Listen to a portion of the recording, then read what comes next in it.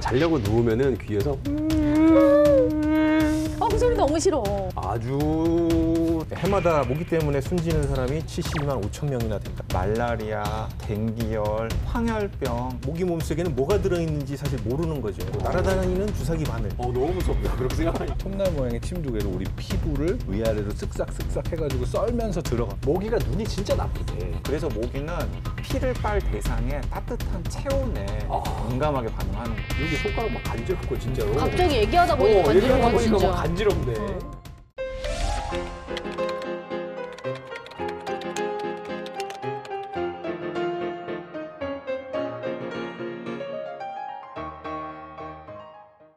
네, 오늘의 주제는 바로 해충입니다.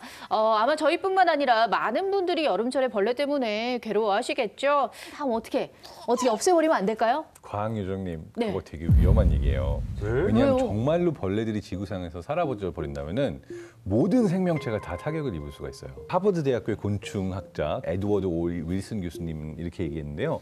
인류 문명은 최근 수천 년 동안 형성됐지만 곤충은 무려 4억 년 동안 지구 생태계 환경을 조성해 왔다. 그러니까 이게 생태계라는 게요. 얘네가 없어지게 되면 음. 쓰레기 청소, 토양을 비옥하게 만들고 또 곤충을 잡아먹는 다른 여러 동물들도 타격을 입고 아. 말하자면 정말 이게 연쇄 반응으로 음. 어, 큰일 날 수 있어요. 자, 혹시 전 지구에 곤충이 몇 마리나 산다고 생각하세요? 전 지구? 전지고 네. 와 너무 이거 누가 세본 거예요? 그러니까 셀 수는 없을 것 같고 많이 진짜 많이 쳐줘봤자 한 뭐 한 10조? 10조나? 어, 10조면은 조금 많이 친거 조로 아닐까? 간다고요? 그러면 그러면 그러면은 저는 그러면 100조. 백조? 네. 음. 네.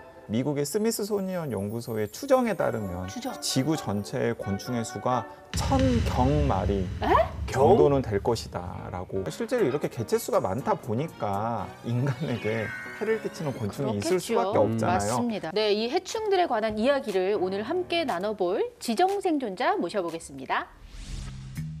음 보자. 오늘은 뭐 곤충 얘기할 건가 그지? 팔이랑 목이랑 아주 이교대 근무로 아주 열심히 괴롭혀 나를 요즘 아주 그냥 죽겠는데. 예 들어오세요. 아, 안녕하세요. 안녕하세요 반갑습니다. 여기 앉으세요. 선생님 그럼 손 소독부터 하겠습니다. 손 소독. 그리고 열 체크 한번 하겠습니다. 백신은 아직 안 맞으셨죠? 네, 아직 못 맞았습니다. 예 곤충 사랑하십니까? 예, 사랑합니다. 근데 그 와중에도 특히 메뚜기를 좋아하신다고 네, 들었습니다. 맞습니다. 그럼 유재석 씨도 좋아하시나요? 당연히 좋아하죠. 아 그렇죠. 그 메뚜기가 갖고 있는 매력이 뭘까요? 흔하게 볼 수 있는 곤충이고 사람들이 또 잘 모르고 귀뚜라미처럼 울음소리를 내서 사람 귀를 즐겁게 해주는 곤충도 있고 그래서 굉장히 사람하고 친근한 곤충이면서 연구가 잘 안 돼 있었다는 점에서 제가 이 연구를 시작하게 됐죠. 1년에 뭐 곤충을 우연찮게 몇십 마리를 먹는다라고 들었거든요. 먹어도 이상 없는 걸까요? 식탁에 바나나가 이렇게 먹다가 남겨두고 다시 먹으려고 보면 그 작은 파리들이 날아다니잖아요. 네. 그것이 보인다 그러면 이미 바나나에는 곤충 알이 그 우리가 이제 모르고 먹으면 곤충을 먹는 게 되는 겁니다. 모르고 드시면 약이라고 근데 사실은 지금 이렇게 다 알아버렸거든요. 지금 선생님 덕분에 이제 앞으로 거의 과일 먹기 좀 힘들어질 것 같습니다. 곤충을 이제 무서워하거나 싫어하는 사람들이 있습니다. 그분들에게 따끔한 한마디 부탁드립니다. 어렸을 때 좀 이렇게 자연과 좀 접촉을 많이 해서 그 곤충 면역력을 좀 키우는 것이 굉장히 중요하다 저는 그렇게 네. 생각이 되고요. 네. 그래서 엄마 아버지가 일단 의연하게 네. 그거 별거 아니야 그러면서 음. 이 곤충에 대해서 좀 알려주시면 아 그럼 미래 세대를 위해서 안 무서워하는 척해라. 예 알겠습니다. 아 오늘 답변 확실하게 해주셔서 감사합니다. 그럼 이제 벙커로 가시죠. 네, 지정 생존자 어서 나와주세요.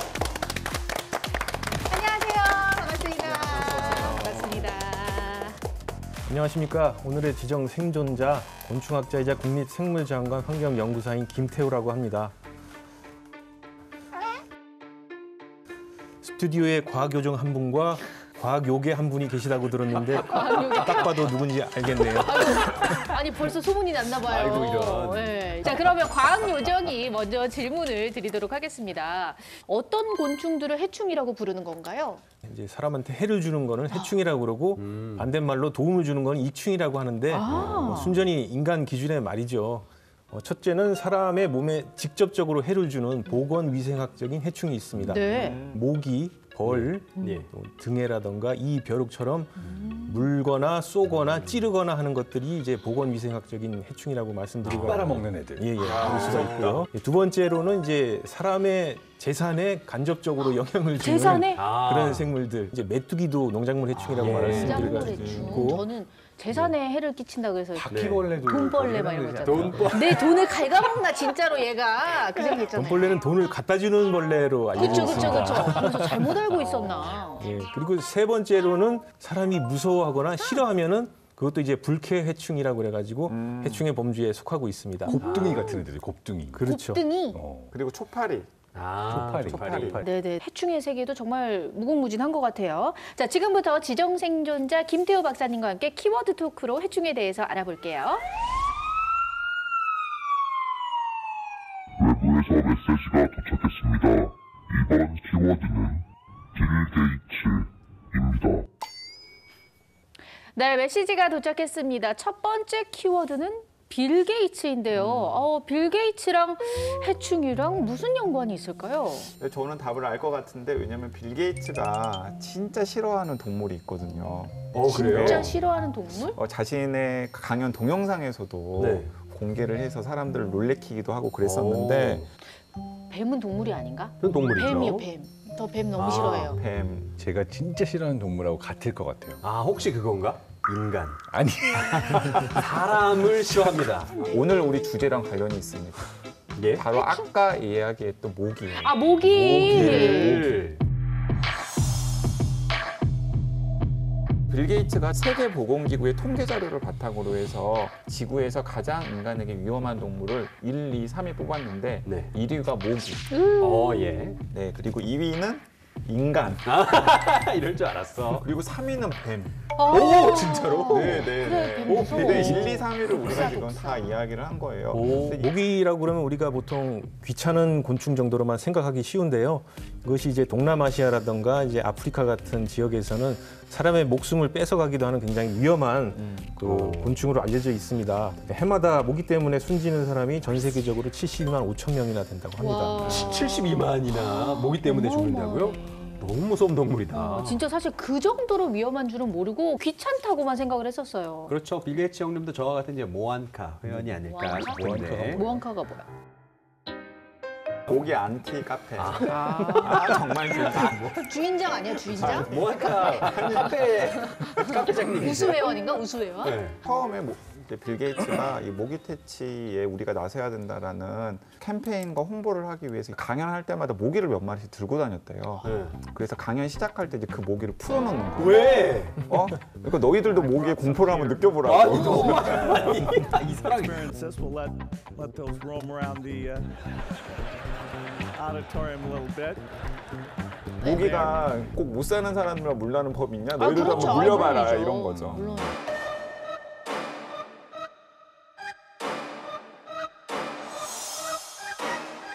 모기를 가만히 생각을 해보시면은 날아다니는 주사기 바늘이라고 생각하시면 입에 됩니다. 빨대 있어. 예, 예. 그런데 모기 몸속에는 뭐가 들어있는지 사실 모르는 거죠. 그래서 굉장히 위험한 생물이라고 말할 수가 있고 날아다니는 주사기 바늘. 어 너무 무섭다. 그렇게 생각하니까. 근데 모기가 또 굉장히 번식력이 좋고 수명이 짧으면서 전 세계 어디서나 있습니다. 아, 완전- 남극엔 없지 않을까요? 남극 기지를 세우면 사람이 그 안에 또 생활을 네. 하잖아요. 몰래 이제 히치하이킹해서 들어갈 가능성이 히치하이킹. 그래서 모기가 되게 신기한 게 비행기를 타고도 날아다니잖아요. 맞습니다. 비행기 안에 내 비행기 안에. 아, 그럴 수 있겠다. 얘네는 무임승차 엄청 많이 그러니까 하네. 비즈니스 타고 가나? 비즈니스 타겠지. 그러니까 어. 조식도 먹나? 먹죠 여기 인간 아 인간한테 그러네. 인간을 조식으로 모기 먹겠네. 조식이 어. 인간이잖아. 그렇겠네. 근데 모기 하면은 전 제일 먼저 떠오르는 질병이 아무래도 이 말라리아. 음.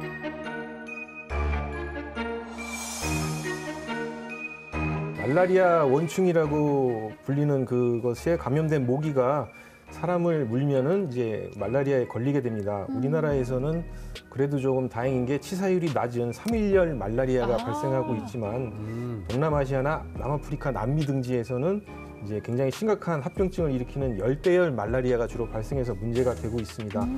여러분들이 해외여행을 갈 때에 그런 말라리아 예방 백신이 있으면 참 좋을 텐데 아직까지 그것이 개발되지 않아서 혹시 여러분들이 멀리 해외여행 갈 계획이 있으실 때는 항상 모기한테 물리지 않도록 주의할 필요가 있습니다. 말라리아 백신이 없어요? 없어요. 그래서 그 과학자들 사이에 말라리아 백신을 개발을 하면 무조건 노벨 생리의학상 영순이다. 뭐 열대지방이나 이런 데 출장이라던가 아니면 여행을 갈때 네.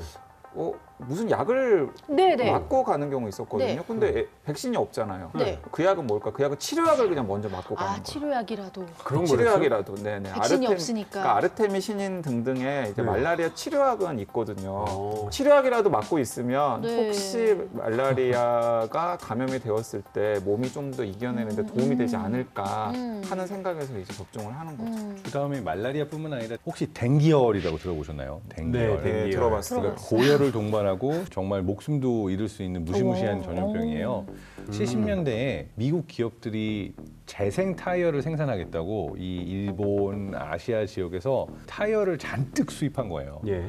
근데 아까 말한 것처럼 무임승차한 모기가 아이고야. 거기 그 고인물에다가 알을 낳기가 너무 좋잖아요. 그래서 그걸 통해서 전 세계로 퍼져 나갔는데 매개체가 바로 흰줄숲모기였던 흰줄 거고. 숲모기. 흰줄숲모기. 네, 아디다스 모기라고 불리는 아, 아디다스 모기가 아이 지- 이렇게 그래서 동남아 지역의 풍토병이 모기 때문에 이제 전 세계로 퍼지고 있는 그런 양상인데 우리나라도 이제 기후 온난화 때문에 점점 기온이 상승하고 있으니까 한국에서도 정착할 가능성이 굉장히 높아지고 있는 와. 겁니다. 야, 이 모기가 퍼뜨리는 전염병 얘기하다가 오늘 그냥 시간 다 갈 것 같은데. 그러니까 목이 무섭. 그 일본 뇌염. 아하. 옛날에 그 뭐 우리 주사 좀 맞고 그러지 그쵸, 않았나? 네, 지난 3월에도 제주도에서 일본 내염을 일으키는 작은 빨간집 모기가 발견되어서 전국적으로 일본 내염 주의보가 내려지기도 했습니다. 아. 외부에서 접선 신호가 도착했습니다. 네 외부에서 접선 신호가 왔습니다. 한번 받아볼게요. 여보세요 누구세요? 안녕하세요. 저는 순천향대 서울병원 가정의학과 곽영환 교수라고 합니다. 어, 여러분들 모기 때문에 걱정 많으신 것 같아서 연결해봤어요. 와 오. 반갑습니다 교수님.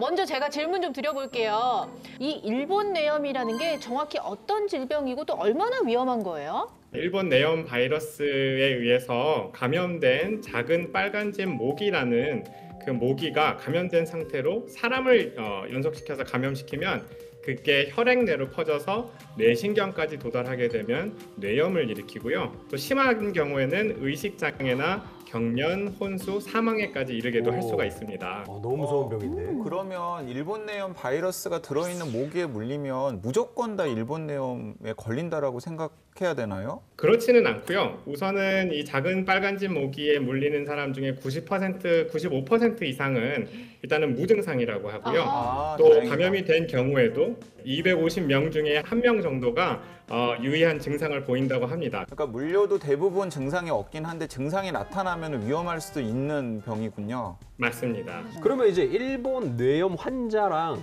제가 접촉을 하면 저도 일본 뇌염에 걸릴 수 있나요? 사람 간에는 전파가 되지 않습니다. 아하. 그런데 일본 내염 바이러스에 감염된 돼지 같은 숙주로부터 감염이 된 흡혈 모기가 사람을 연속해서 물어서 감염을 발생시켰을 경우에 일본 내염에 걸릴 수 있습니다.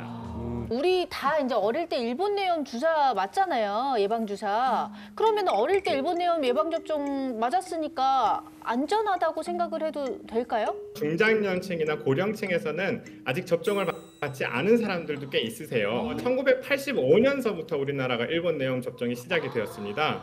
그래서 그 이전에 이제 태어나신 분들 중에 접종을 아직 맞, 어, 맞지 않은 분들 같은 경우에는 성인이 되어서도 취약할 가능성이 있다 그러면 접종을 오. 하시는 게 좋겠고요. 저희 중에 85년 후에 태어난 사람이 없어요. 다 우리가 80. 제일 위험해. 네, 그래서 갑자기 다 우리 네. 안 맞았나 막 이러고 있어요. 그러면 선생님 지금 인상 참 좋아 보이시는데 이 선생님 이제 병원에서 만나고 싶지는 않거든요. 선생님 그, 어, 여름철에 우리가 주의해야 할 벌레들이 또 특별히 있다라면 예, 어떻게 하면 선생님을 안 만날 수 있는지 좀 알려주십시오. 자, 최근에 출몰 빈도가 증가하고 있는 것 중에 하나가 청딱지 개미 반날개라는 곤충이 있어요. 여름 우기나 습한 날씨에 활동성이 강한 것으로 알려져 있는데 이 곤충의 특징은 닿기만 해도 화상을 입은 것 같이 큰 통증을 일으킨다고 해서 화상벌레라고도 부릅니다. 와. 어, 이 곤충이 페데린이라는 독성 물질을 분비를 하는데 생명에 다행히 지장은 없지만 아주 심한 고통을 느낄 수 있기 때문에 직접적으로 곤충을 떼어낼 것이 아니라 다른 도구를 이용해서 떼어내야 되는 그런 곤충이 있습니다. 어, 진짜 곤충 작 다고 무시할 것이 아니라는 것을 우리 예. 교수님 말씀을 통해서 다시 한번 느낄 수 있었던 시간이었던 것 같습니다. 오늘 좋은 말씀 감사합니다, 교수님. 감사합니다. 감사합니다. 저는 좀 궁금한 게 제가 듣기로는 모기가 눈이 진짜 나쁘대. 아, 그래서 이게 앞에 있는 게 사람인지 아닌지 뭐 구분도 안 될 것 같은데. 근데 어떻게 잘 물지? 어떻게 진짜로 귀신처럼 알고 사람만 물어. 지금 하나는 정확하게 알고 있어요. 그 모기가 눈이 나쁘다라는 오. 사실은 정확하게 알고 있는데 그 눈이 나쁘니까 당연히 다른 수단이 있을 것 냄새? 아니에요. 네. 모기는 온도에 굉장히 때문에 온도. 그래서 모기는 피를 빨 대상에 따뜻한 체온에 아. 민감하게 반응하는 거죠. 아니, 그러면 체온을 감지하는 센서 뭐 이런 걸 달고 다니는 거예요? 이렇게 네, 가방 메고 맞습니다. 막 다니나? 네, 어, 역시 과학요정. 어, 맞아요. 온도 감지 수용체가 있대요. 실제로. 있다고요? 네, 프랭크 밀번 하울렛이라고 하는 과학자가 있는데 모기가 항상 차주전자 주위를 맴도는 사실을 관찰을 한 거예요.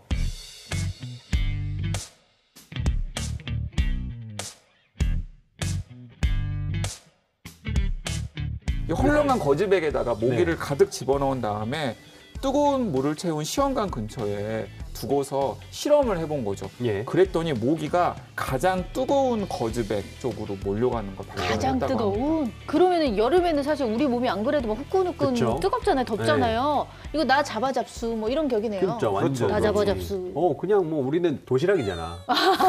모기 입장에서 우리 그냥 걸어다니는 그러게, 도시락인 건데. 도시락. 도시락이 맞을 수 있는 게 온도만 따뜻한 게 아니라 도시락도 냄새도 나잖아요. 어, 네. 맞아. 사람을 찾는 거랑 피부 중에 어디에 혈관이 있나를 찾아내는 건 또 다른 건데. 맞아. 그렇죠, 그렇죠. 얘가 또 기가 희한하게. 피가 어디에 있는지를 정확히 찾아내잖아요. 그러게. 이거를 서울대 연구진이 2015년도에 수수께끼를 밝혀냈는데 모기 주둥이에 달린 뾰족한 침에 후각 기관하고 후각 수용체가 있는 걸 여기. 그러니까 좀- 이 모기가 피를 배불리 빠는 시간은 한 30초 정도면은 어. 빠는데 이 후각 수용체를 없애고 났더니 어. 일단 어디에 혈액이 있는지 혈관도 잘 찾지를 못했고 그리고 피를 다 빠는 데는 3분에서 15분까지 걸렸다고 합니다. 어. 그냥 차라리 빨리 빨고 가는 게 낫겠네요. 어. 3분에서 15분 동안 여기 이렇게 있으면은 저 상관이 같은 있나? 경우는 몸이 되게 뜨끈뜨끈하거든요, 항상. 어. 유난히 모기를 잘 물리는 것 같아요. 어, 모기한테는 그냥 남- 형이 그냥 편의점 같은 존재예요. 음. 그리고 너무 그냥, 예, 꽂아. 많은 곳에 출몰하시니까. 그것도 아, 그렇지. 그런데 여기저기. 그러니까 장 박사님이랑 저랑 뭐 체형이라던가 모든 면에서 좀 다르잖아요. 다르죠. 저도 잘 물리거든요. 아, 사실 제가 이제 모안카, 모기 안티카페 회원 으로서 발냄새 이런 거에 굉장히 좀 환장한다. 설마 지금 강 기자님과 제가 발 냄새가 비슷하다고 말씀하신 미스테리가? 밝혀졌네요. 약간 네. 치즈 냄새 네. 나거든요 지금. 발 냄새, 고인물, 모기가 좋아할 만하네. 어. 이게 진짜 발냄새와 모기가 좋아하는 사람 사이의 상관관계를 밝혀내는 있어요, 실험이 있어요. 있어요. 있어요. 네, 예. 네덜란드 바우닝엔 농업대학교에 실험이 있는데요. 실험 참가자를 일단 속옷만 입혀놨어요. 엄마나. 그리고 모기랑 함께 밀폐된 공간에 넣어놨습니다. 아 사람 이거 인간 학대 잔인하다. 아니에요? 그래서 학대잖아. 속옷만 입은 사람이 밀폐된 공간 안에 모기떼와 함께 있으면 예, 모기 모기가- 모기는 진짜 만찬이다. 부패야, 만찬. 모기, 모기가 이 사람의 어느 부위를 향해 달려드나를 실험을 했는데 어머. 주로 모기의 대부분이 발로 몰려들었다고 합니다. 아, 그래서 이번에는 다른 그룹의 학생들에게 깨끗하게 항균 비누로 발을 씻긴 다음에 다시 속옷만 입혀서 폐쇄 공간에 놓고 모기랑 풀어놨더니 이번에는 발을 향해서 가지 않았다. 오 진짜인가 보네. 라고 하는 연구 결과가 있는데요. 특히나 이제 말라리아를 퍼뜨리는 모기인 감비아 학질 모기의 경우에는 그 림보얼거 치즈라고 하는 특정 종류의 치즈 향에 굉장히 끌린대요. 치즈. 그러니까 그 치즈를 넣어놓으면 이 모기가 환장을 하고 그 치즈에 달려드는데 발가락 사이에 살고 있는 세균이 만들어내는 냄새가 이 치즈와 비슷할 수 불쾌한. 있다. 네. 네 불쾌한 건 우리죠. 그럼요. 여러분들이 말씀하신 게 굉장히 정확한 게 모기가 좋아하는 체질이 이제 있습니다. 예. 그래서 멀리서 숙주한테 다가갈 때는 일단 채취로 다가갑니다. 채취. 어, 네. 채취로 다가가고 두 번째로는 그 숙주에서 풍기는 이산화탄소의 냄새. 이게 모기가 방에 들어오면은 항상 뒷가에서 윙윙거리는 네, 소리를 맞아요. 내면서 왜 그러는 거예요? 그냥 내 피 줄 수 있다 이거야. 어. 아, 그냥 빨고 가든가요? 빨고 가든지 근데 계속해서 윙윙거리잖아요. 여기에 캔디야. 네, 우리 몸 전체에서 이산화탄소가 농도가 가장 짙은 곳이 입, 입, 입. 네, 날숨이 나오는 코랑 입 근처잖아요. 네. 강 기자님과 저 사이 공통점 하나 찾았네요. 말을 많이 하면은 이게 또 이제 아, 들숨 날숨에서 날숨이 많이 나오면서 이산화탄소가 많이 나오니까 모기가 좋아할 만하겠네요. 네, 그리고 마지막으로 이제 체온이나 몸의 이제 무- 습기 그걸 감지가 할 수가 있고 마지막에 돼서야 이제 눈으로 아 이게 내가 피를 빨아먹을 수 있는 대상이구나 이렇게 인식할 수 있다고 그럽니다. 제 친구는 그러던데 그 모기가 선풍기 바람 싫어하는 것 같다고 선풍기 바람 쐬고 있으면 모기가 안 문다고 해서 걔는 진짜로? 여름에 예 내내 틀어놓는 친구가 있어요. 아니 역시 과학요정 친구. 네, 제 친구까지요?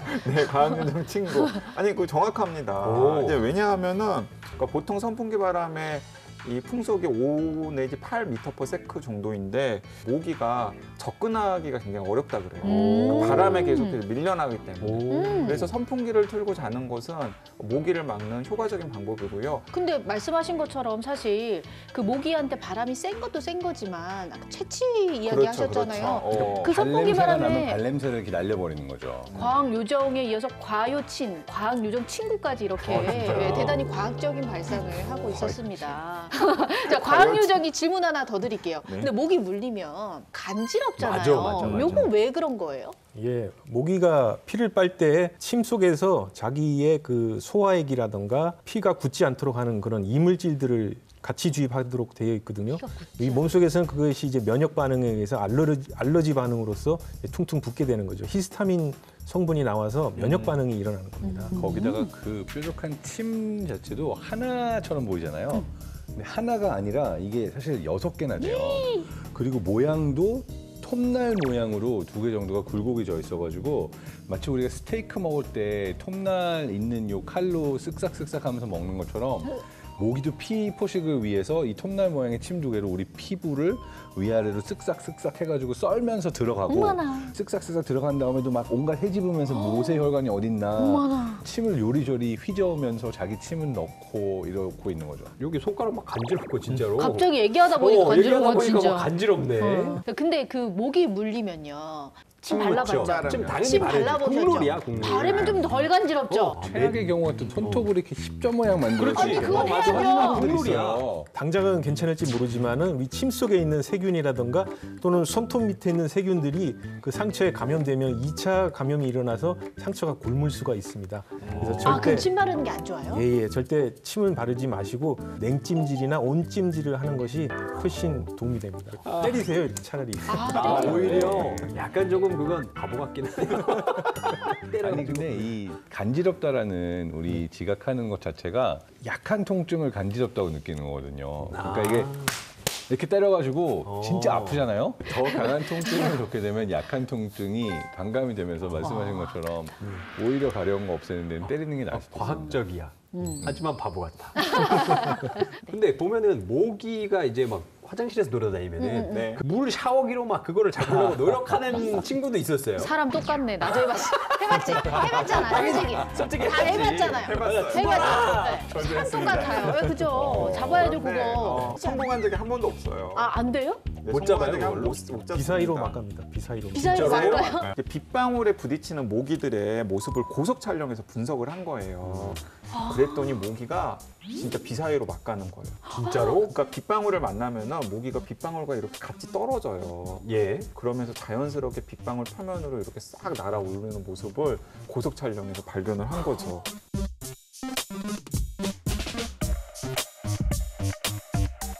빗방울을 모기가 맞으면 엄청 충격이잖아요. 그쵸. 이건 뭐냐면 사이클 선수가 갑자기 떨어지면은 땅하고 부딪히서 굴르면은 또 충격을 받잖아요. 근데 이게 낙법을 배우신 분들은 맞아요. 이렇게 어떤 물러가잖아요. 스타일이냐면은 땅에 닿는 면적을 최대화하면서 이렇게 굴르면은 아. 내가 다치지 않으면서 운동 에너지와 충격 에너지가 이제 딱 털어버릴 수 있거든요. 자, 들으면 들을수록 재미도 있는 모기에 대한 다양한 이야기 속속들이 파헤쳐본 시간이었습니다.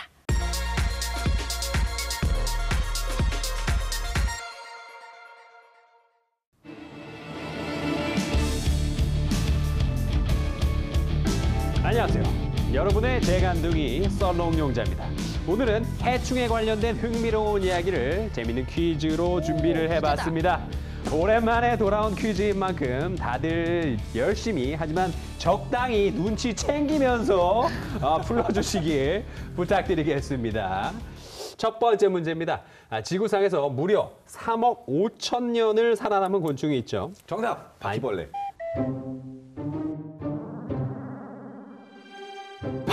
바퀴벌레 얘기가 나오는데 빙하기에도 살아남은 이 바퀴벌레는 끈질긴 생명력을 자랑합니다. 자, 그럼 이제 문제입니다. 네. 놀라운 번식력으로 악명을 떨치는 바퀴벌레에 충격적인 비밀이 있다고 합니다. 네? 과연 이 비밀은 무엇일까요? 비밀이 정답. 정답. 예, 암수 한 몸이야. 아닙니다. 알의 비밀이 있습니다. 알이요? 네. 바퀴벌레 알. 어떤 비밀이죠? 알이 아, 나 이거 어디서. 시간이 엄청나게 지나도 안 죽습니다. 에일리언인가요? 틀렸습니다. 아, 나 이거 어디서 들었는데. 번식력의 비밀. 힌트 주세요, 하나도 힌트. 힌트? 네. 그 생식, 번식력이라는 아니, 게 알- 근데 알은 아니에요. 알은 아닙니다. 알은 아니야. 근데 누나가 비슷한 얘기를 아, 했어요. 아. 정답. 수컷, 암컷 다 네. 알을 낳, 그 애를 낳을 수 있어요. 아 비슷한데 정답, 정답. 아니에요. 비슷한데 정답, 정답. 아니에요. 암수가 바뀝니다. 아니에요. 그거는 뭐 물고기도 그렇게 아니. 하죠. 예, 아니고요. 필요에 따라서 암컷이 되거나 수컷이 되거나 할 수가 있어요. 내가 그 같은 말이잖아. 얘기를 지금 어떤 암컷과 수컷의 그런 교류 없이도 아 맞아 맞아. 번식이 가능해요. 요거 정답 인정하겠습니다. 진짜 미치겠어. 정말. 아 좋습니다. 천재야 뭐야. 유성생식도 되고 무성생식도 되고. 아니 그게 제가 한 거잖아. 왜 또 숟가락을 드시려고 그런 거예요? 이게 말하자면은 수컷 없이도 생식이 가능하다. 그래 그, 그 얘기 한 거잖아요. 단성 생식이라고 네, 그 합니다. 이게 어떻게 되는지 박사님 설명 좀 부탁드리겠습니다. 예, 실험으로 증명된 사실인데요. 정상적인 암수 한 쌍, 그리고 암컷 한 마리, 그리고 암컷이 두 마리에서 열다섯 마리까지 이렇게 다양하게 대조구를 만들어서 실험을 해봤는데요. 암수 한 쌍인 경우에는 이제 정상적으로 번식할 수 있는 그 수정란을 낳았고 암컷 한 마리인 경우에는 알을 낳지 않았다고 그럽니다. 근데 암컷이 세 마리 이상인 경우에는 암컷이 암컷을 낳는 식으로 이제 번식이 유지됐다는 겁니다. 신기한데. 어떤 암컷이 약간 수컷 역할을 해가지고 그럼 하는 것 그렇지 아닐까요? 않을까요? 그렇게 됐다 그러면 암컷 수컷이 이제 같이 섞여서 나와야 되는데 아. 네. 무성생식의 상태로 음. 이제 암컷이 자기하고 유전자가 똑같은 클론을 낳는 방식으로 와, 또 대박이다. 이제 아, 번성 그런데 왜 암컷 한. 마리였을 때는 자기들끼리 어떤 접촉 자극이 있어야지만 아. 그것이 미수정란을 낳다라는 명령이 되는 거지 혼자 있을 때는 아무런 자극이 없기 때문에 이제 번식을 할 수가 없는 아, 거예요. 이 신기한 걸 제가 맞췄다는 게. 그게 제일 신기해 지금. 진짜 천재예요 뭐예요? 이게 뭐야? 나 맨사 들어가 마라. 아니야 누나 방송 너무 오래 해서 아, 그래. 나 진짜. 자 그럼 갑니다 다음 퀴즈 이번에는 약간 좀 셜록에 다들 좀 빙의를 하셔야 되는 약간 어, 그런 좀 문제거든요 어렵다는 문제인가요? 아 예 약간 난이도가 있고 네. 아, 추리를 조금 해야 돼. 제발요. 난이도죠. 네. 자 갑니다. 2005년 이탈리아 남부 시칠리아 섬의 한 아파트에서 살인 사건이 일어났습니다. 아, 이 사건은 목격자도 없고 용의자가 남긴 증거도 없어서 미제 사건으로 남을 뻔했는 그런 사건이었는데요. 이 곤충 때문에 이 사건을 해결할 수 있는 키가 됐다고 합니다. 이 곤충, 이 사건의 해결 방법은 무엇일까요? 파리. 왜죠? 파리가 알을 낳고 시체가 부패한 정도를 보면서 그걸 통해서 체 상태 확인 뭐 이런 거 아닐까요? 아닙니다. 앵무새는 곤충이 아니잖아요. 앵무새, 새잖아. 뭐, 앵무새가 얘기를 해준 거야? 어. 제가 제가 주세요. 이용주가. 아니야. 곤충 아니야. 조류입니다. 아니잖아. 그래 조류. 조류잖아. 어 나방 나방 왜죠? 살인 시간을 추정할 수 있었어. 어떻게? 뭐 밑도 끝도 없이 뭐요? 그냥 공상과학 추리하지 마시고요. 모기를 통해서 살인 시간을 추정할 수 있었어요. 뭐야 모기? 아, 그러니까 이거 것 같아요. 용의자가 남긴 증거가 없었다고 하는데 뭔가 곤충과 관련되어 있는 것이 용의자에게 붙어서 나간 거예요. 그럼 모기. 모기 모기인가 보다. 정답인가 보다. 그런데 잠깐 여기에서 정답을 외치기 전에 모기까지는 제가 알려드릴게요. 봐- 아니, 내가 맞췄는데 아니, 뭘 아니, 아니, 아니, 알려줘. 반 정답인데 모기잖아. 어떻게 맞췄느냐 이게 해결 방법이 무엇인가? 그러니까 모기가 설마- 어느 특정 지역에 사는 모기였어. 아닙니다. 아니면 이 사람이 있던 그, 그 병을 얘- 얘가 거기다 올- 옮겼어. 시체에다가. 아, 뭘 시체는 어떻게 옮겨? 아닙니다, 아닙니다. 비슷하게 가고 있어요. 아, 모기를 죽여서 그 피를 빨 해보니까 그 용의자의 그 피가 나왔어. 미쳤네요. 정답, 네, 정답이지. 맞습니다. 와, 진짜 어떡하지? 네, 이 사, 아, 진짜 대단한데. 잠깐만, 아, 나 저 내일 어, 다음 주에 못 올 것 같아요. mensa 시험 보러 가야 돼가지고. 아, 진짜 네. 이제 과학도 아, 과요 불급입니다. 가도 될 것 같은데. 왜냐면 이게 어떻게 된 거냐면 살해 현장에 아주 작은 이 혈액 얼룩이 있었대요. 네. 그런데 이게 모기가 남긴 혈액 자국이었는데 요거를 채취를 근데 해서 모기가 왜 거기다 혈액 자국을 남겨? 모기를 죽였나 보지. 아, 모기를 죽였나 어, 보네. 그런데 바보같이. 그러니까 근데 거기에 그 남아 있던 혈액으로 이 DNA 포렌식을 해 보니까 거기에서 범인의 DNA가 나와. 아. 뭐 이런 거 이렇게 곤충을 이용해서 범죄를 해결하는 이런 경우가 박사님 또 있었습니까? 예, 비슷한 사례가 2008년도 핀란드에서도 이제 도난당한 차량 안에서 그 모기 혈흔이 발견된 적이 있는데 그 유전자 분석했더니 자동차 도둑이 누군지를 밝혀낸 적이 있죠. 예. 그 아까 제가 나방 어, 영- 언급했잖아요. 네. 살아 있으면은 나방이 그 사람 몸이나 코 이런 데로 들어가지 못하겠죠.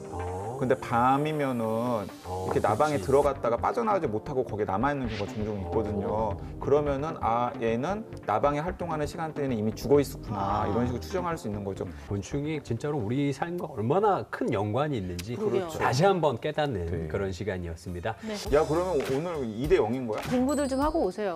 너무도 준비 안 해오신다. 진짜. 어 정말 아, 혼자 다 맞히기 진짜 힘드네.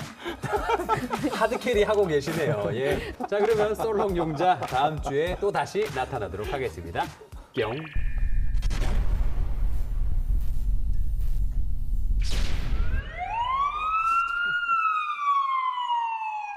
외부에서 메시지가 도착했습니다. 이번 키워드는 지구 온난화입니다. 네, 메시지가 도착했습니다. 두 번째 키워드는 지구 온난화입니다. 어, 아까 우리 교수님께서 잠깐 말씀하셨던 것 같아요. 맞아요. 점점 또 우리나라도 더워지면서 어, 네. 해충이 더. 많아진다. 뭐, 뭐 그런 뜻인가? 그렇죠. 아, 근데 저는 좀 이렇게 들었어요. 그 소들을 우리가 많이 키우잖아요. 먹고 싶으니까. 근데 그 소들이 내뿜는 트름과 방귀가 메탄가스인데 네. 이 메탄가스가 지구 온난화의 가장 큰 주범 중에 하나다. 그래서 지금 뭐 우리가 벌레 얘기하고 있으니까 이렇게 가스를 내뿜는 벌레들이 그 개체가 점점점 많아져서 지구 온난화가 가속되고 있다. 그래서 빨리 우리가 이 해충을 없애야 된다. 논리적으로 좀 생각을 아, 저, 해보는데 이거 헛소리고요. 아, 나 무슨 얘기인지 모르겠어. 영주님의 추리는 정반대로 해설을 하신 겁니다. 오늘도 또 틀렸어. 기후가 이제 따뜻해지면은 곤충들이 굉장히 살기에 좋은 조건이 갖춰지는 거죠. 근데 곤충이 한여름에만 발생하던 것이 봄에서 가을까지 굉장히 길게 이제 활동할 수도 있고요. 네. 그리고 우리는 여러분들 예. 말벌 아시죠? 알죠, 알죠. 알죠. 예, 예. 예, 말벌은 이제 꿀벌보다 사이즈도 크고 좀 네. 이렇게 얼룩덜룩한 무늬가 굉장히 눈에 띄는 곤충인데 최근에 도시 지역까지 말벌들이 많이 출현하게 되면서 오. 사람들이 피해를 보고 있습니다. 음. 꿀벌은 한 번 쏘면은 자기 침이 빠져가지고 죽는데 네. 말벌은 계속해서 연속으로 쏠 수 있기 때문에 재장전 더 가능한 위험한 음. 거죠. 어. 지난번에 낚시 갔을 때 갑자기 누가 드론을 띄우는 거야. 음, 뚫은 거야. 그래서 어, 드론 띄우네 했더니만 뒤에 있던 동생이 형 나와 나와. 그래서 왜 이랬더니 말벌 떼가 이렇게 지나가는 떼가. 아유 근데 말벌은 진짜 실제로 보면 무서워요. 무서워. 진짜 엄청 무서워. 크잖아요. 네, 애들 이만해. 꿀벌이랑은 비교가 안 돼요. 저는 다행히 쏘여본 적은 없는데 사망에 이를 아, 맞아요, 진짜 맞아요. 그 정도예요. 네, 그 정도라고 합니다. 쇠꼬챙이로 푹 찌르는 것 같습니다. 네. 아 진짜요? 왜그 산소에 실제로 그렇습니다. 쏴보셨어요? 예, 예, 쏘여봤습니다. 오. 어. 가시 철조망 몰래 넘다가 네. 철조망에 푹 찔린 듯한 느낌 있죠. 가시 철조망을 넘어보셨어요? 예. 소시적에 제대로 굉장히 많이 처치하지 않으면은 생명이 위태로울 수도 있다라고 저는 들었는데. 음. 예, 그래서 말벌 같은 경우에는 이제 꿀벌보다도 독성이 강합니다. 음. 한 마리가 쏘인 거는 크게 걱정할 것은 안 되지만 이제 여러 마리가 떼로. 아까 아. 때로 몰려들면은 이제 굉장히 쇼크를 받을 수 있기 때문에 음. 물론 조심하셔야 됩니다. 어, 그러니까 그런데 이 지구 온난화 때문에 말벌이 점점 더 늘어나게 된다는 말씀이시죠? 예, 맞습니다. 9월 정도 되면 이제 신고가 거의 없어야 되는데 9월, 10월까지도 따뜻하니까는 말벌 그 피해 그 신고가 굉장히 많이 늘어나고 있다고 그럽니다. 음. 등검을 만- 말벌이라고 들어보셨습니까? 등 검은 말벌이요? 예, 예.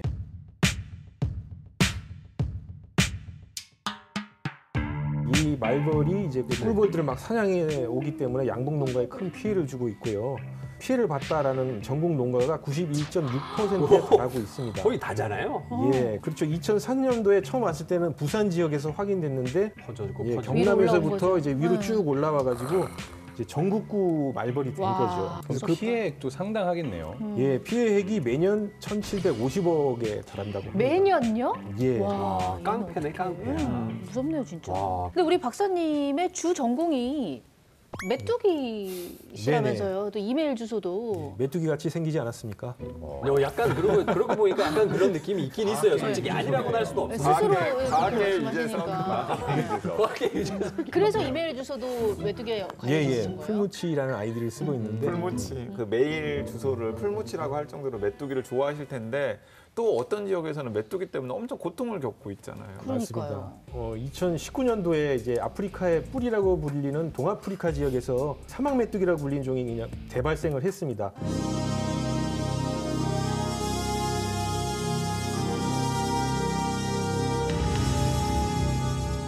모처럼 굉장히 큰 비가 쏟아졌죠. 그 네. 땅 속에서 알 상태로 뭐 수십 년간 있다가 비를 맞은 바람에 동시에 알이 부화를 해서 굉장히 큰 무리를 이루게 됐습니다. 네, 당시에 아홉 개 국을 강타를 했대요. 메뚜기 떼가. 어, 예.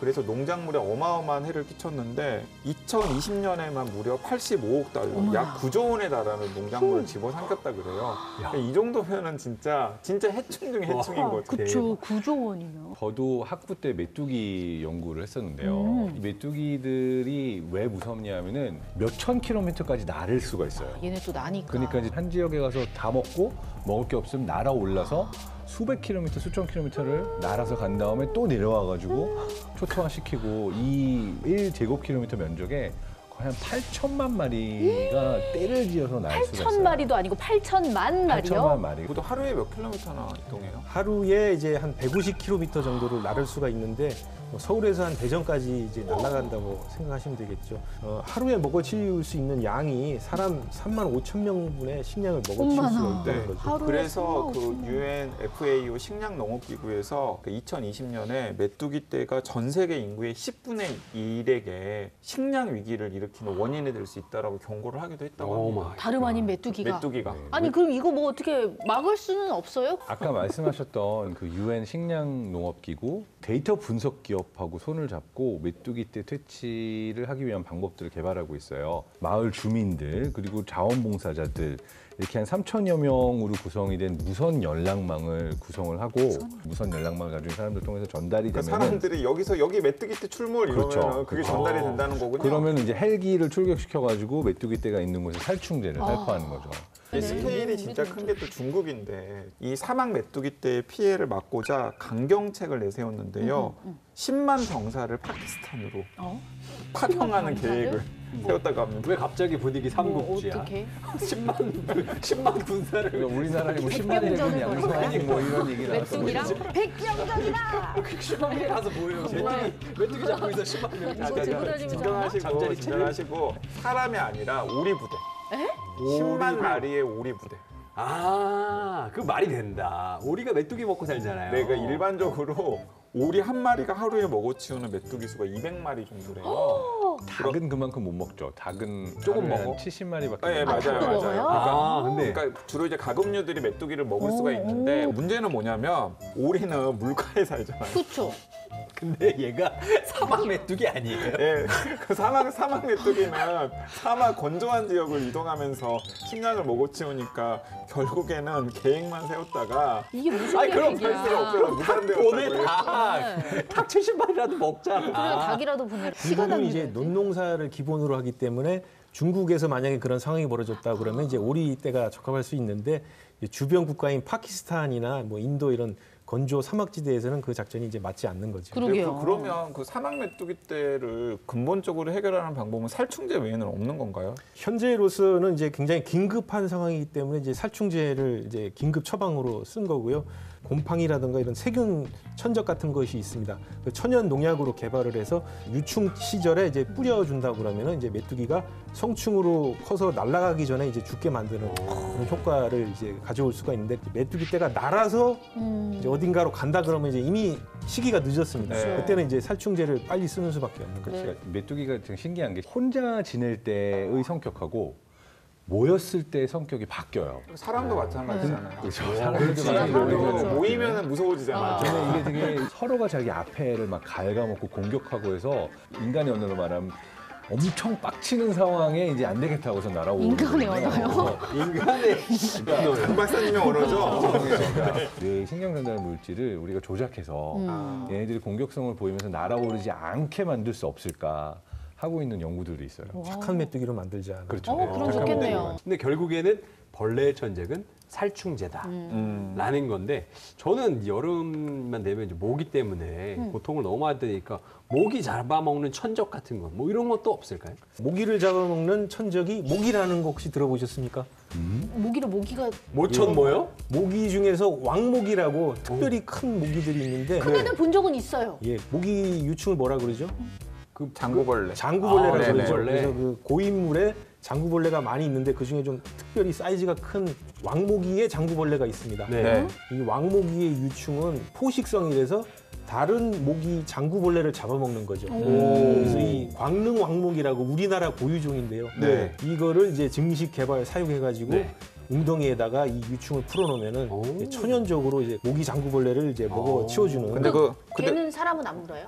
그렇죠. 왕모기는 이제 성충이 되면은 사람 피를 빨지 않고 이제 꽃 꿀이라든가 뭐 이렇게 착한 오, 착한 모기네. 아니 그 왕모기가 아니라 꽃모기네. 꽃모기. 꽃모기. 아, 이름부터 바꿔. 어, 이름부터 좀 바꾸면 좋겠다. 왕꽃 모기. 착한 왕꽃 모기. 어, 해외에서는 또 다른 방법을 또 연구하고 있는데요.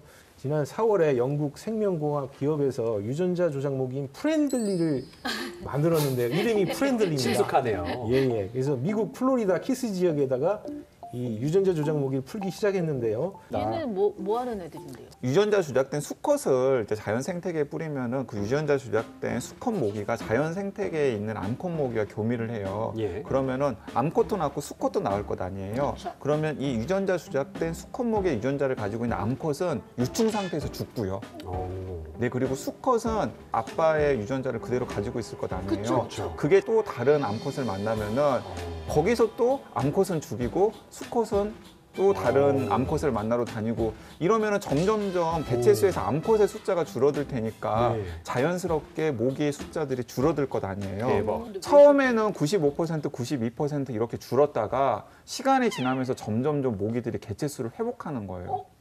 또 내성이 생기나? 아니 근데 그 이유를 알고 봤더니 이게 진짜 자연의 신비이고 모기의 신비인데 네. 암컷들이 네. 유전자 조작된 수컷들을 기피하는 거예요. 오, 매칭이 안 돼. 그 자연 생태계의 수컷들을 어떻게 찾아가지고 교미를 한 다음에 새끼를 낳는 현상을 발견하기 시작했습니다. 그 이유는 아직도 과학자들은 몰라요. 그래서 이번에 이 플로리다주 실험은 어떻게 결론이 날지는 좀 지켜봐야 될 것 같습니다. 기대되네요. 네. 그러게요. 하루빨리 모기의 고통에서 벗어날 수 있었으면 좋겠습니다. 자, 그럼 이제 생존 키트 열어보러 가볼까요? 자, 오늘은 이 가방 안에 어떤 아이템이 들어 있을지 자 기대를 하면서 열어보도록 하겠습니다. 모기 나오는 거 아니겠지? 안열 거야. 잠깐만 아까 빌 게이츠가 그렇게 한다며. 선생님 혹시 열어볼게요. 아니 충분히 가능성이 있는데 윙하면서 뭔 이거 뭘까요? 나무 이게 뭐죠? 아니, 이거 이거 아니요. 아 계피네. 향 맡아보니까 계피예요. 어, 모기는 계피 냄새를 굉장히 싫어한다고 알려져 있죠. 아. 예, 계피 속에 들어있는 쿠마릴이라는 성분이 있는데 그게 식물의 2차 대사 화합물이고요. 어, 이런 특이한 그 냄새가 모기 기피제 역할을 하고 있기 때문에 오. 굉장히 좋은 아이템이라고 말씀드릴 수 있겠습니다. 아 그러고 보니까 걸어놓으면 되겠다. 그 여름에 우리 조상들이 수정과를 먹었는데 그 수정과 안에는 계피가 들어있잖아요. 그렇죠. 네. 근데 당연히 수정과를 먹으면 아. 체 내에 어쨌든 간에 계피 성분이 있을 테니까 모기를 약간 좀 피하게 하는 역할을 했을 수도 있겠다라는 어. 생각이 드네요. 그냥 맛있어서 드셨대요. 시원하잖아. 근데 어. 이, 여러분 모기향 예전에 많이 다 펴보셨죠? 네. 근데 이 모기향을 피울 때 바닥 쪽에 두는 것보다 찬장 위 같은 데서 천장 쪽에 두는 것이 더 효과적일 수 있다는 얘기도 있어요. 그래요? 보통 더운 공기는 위로 올라가서 나가니까 아, 위로 창문. 위쪽으로 이제 이 오. 따뜻한 공기나 냄새 이런 거 보고 창문 위쪽으로 올라오는 경우가 많대요. 그래서 향을 위쪽에다 피워두면 모기가 들어오는 공간으로 오. 모기 향이 나가면서 오히려 모기를 퇴치하는 데 효과적일 수 있다. 어. 자, 근데 우리 집은 아이가 어리잖아요. 네. 그리고 또 모기가 아이들도 좋아하거든요. 맞아요. 그래서 어느 순간부터 모기장 설치하고 자거든요. 음. 자, 진짜 최고. 모기장 최고. 모기장 최고예요, 진짜. 모기장 최고. 그 모기장 안으로는 모기가 들어오기가 어려우니까. 그렇죠. 그러니까 여름에 그 이것저것 막 살충제 같은 거 뿌리지 않고 가장 효과적으로 모기를 차단할 수 있는 방법은 저는 모기장 아, 모기장 좋네요. 모기장 저는 좋죠. 진짜 오죽하면 은 그 양봉장 코스튬 입고 자려고 그랬어요. 모기장, 모기향에 계피향까지 이렇게 모기 퇴치 꿀팁까지 꼭 기억해 두시면 좋을 것 같습니다. 네, 신박한 먹어 벌써 마무리할 시간입니다. 박사님 오늘 함께 하셨는데 어떠셨어요?